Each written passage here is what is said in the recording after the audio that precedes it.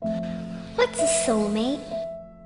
It's, a, well, it's like a best friend, but more. It's the one person in the world who knows you better than anyone else. It's someone who makes you a better person. Actually, they don't make you a better person, you do that yourself.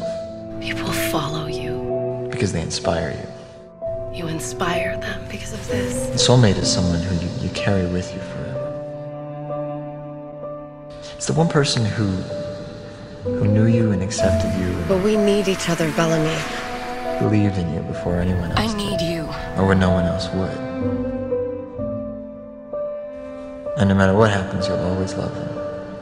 Nothing can ever change that.